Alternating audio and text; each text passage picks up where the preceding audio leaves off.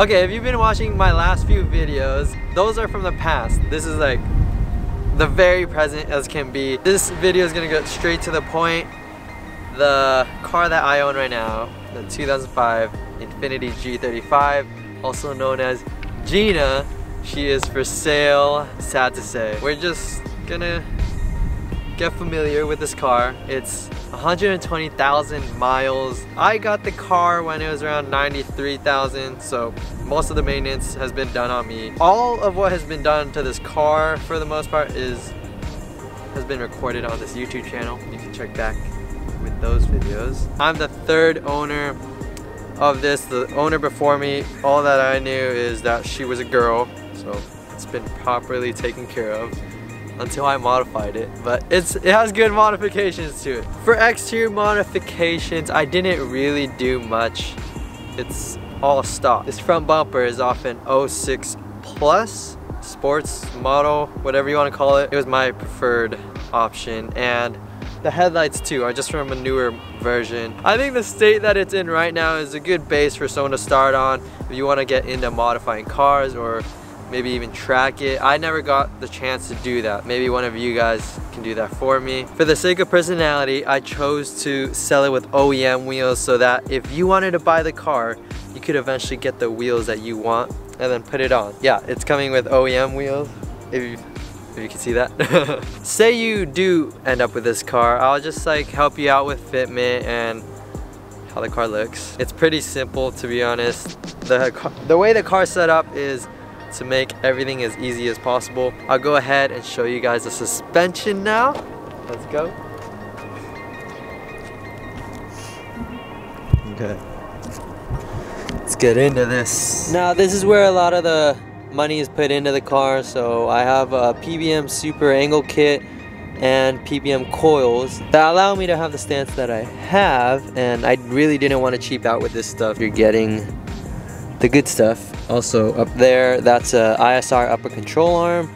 I like how it's adjustable. It's different than other ones, so it's solid. It won't move around. I do recommend keeping it this way so your alignments aren't that expensive because it can be a little complicated depending on the shop. The, the camera squeezed underneath the car, but you guys can see the toe arm above the camber arm. SPC camber arm and Voodoo toe arms. They also they also have a lockout kit. That's how you know your alignment won't get thrown off when put into like harsh conditions or something.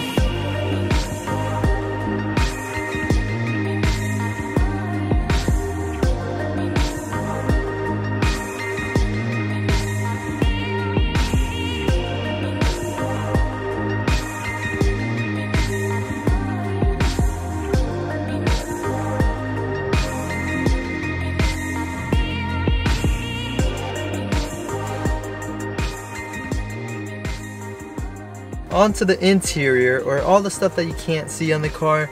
I don't really want to show you guys the engine bay because there's nothing done to it. It's completely stock. There's a Z-tube and some like couplers, but that's nothing really, it's just maintenance. In the interior, the car will come with a Nardi personal steering wheel and a Tomei shift knob. Sadly, the rear seats are gone as well. I never thought I would sell this car, so that's why they're completely gone. Oh, I'm too tall.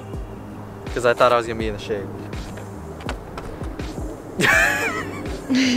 Does that look weird? A little bit. Yeah, it's been a crazy journey with this car, this G35 right here. That's where my YouTube started. It'd be awesome if one of you guys could own this G35 and enjoy it as much as I did.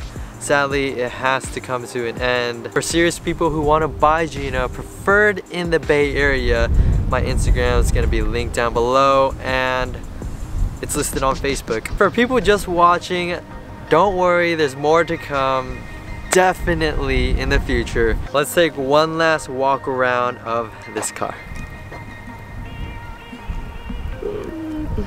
Oh man.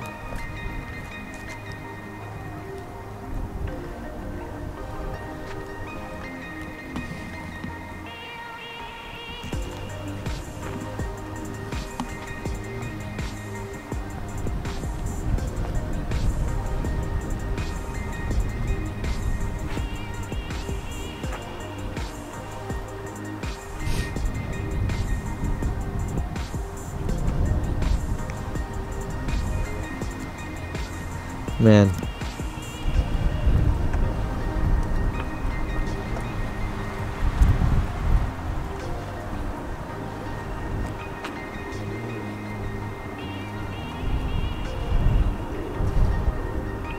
I really do hope you guys enjoy this journey with this car. Sad to say that this is the end and thank you guys for watching and stay tuned for the next one.